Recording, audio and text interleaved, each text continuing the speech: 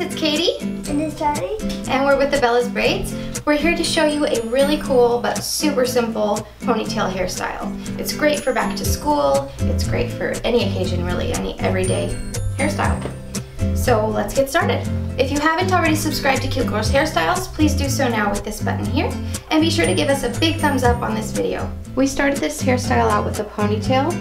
We covered the elastic with some hair just to make it look a little more formal. And now what we're gonna do is take a section out, just a nice small section, and we're going to do a twist on this.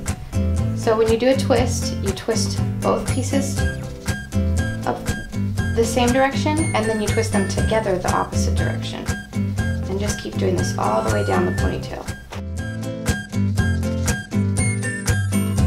So to finish this off, just since it's such a tiny amount of hair, I used back combing to hold it in place. Okay, now I'm gonna do the same thing on the other side. I'm gonna take a small section and make a twist out of it. Now that we have our two small twists done, I'm going to take this big middle section and I'm gonna do the same thing. Split it in half, twist both sections one way, and twist them together the opposite way. And I'm going to finish this off with a clear elastic. Now what you're going to do is follow the pattern of the twist with this.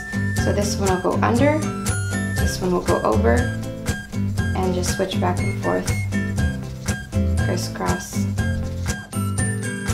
And then when you run out of hair, which will probably be before this part, place an elastic in, and you're just going to put all of the braids in there.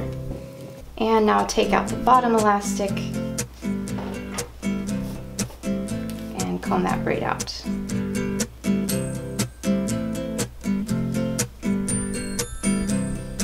Thanks for watching.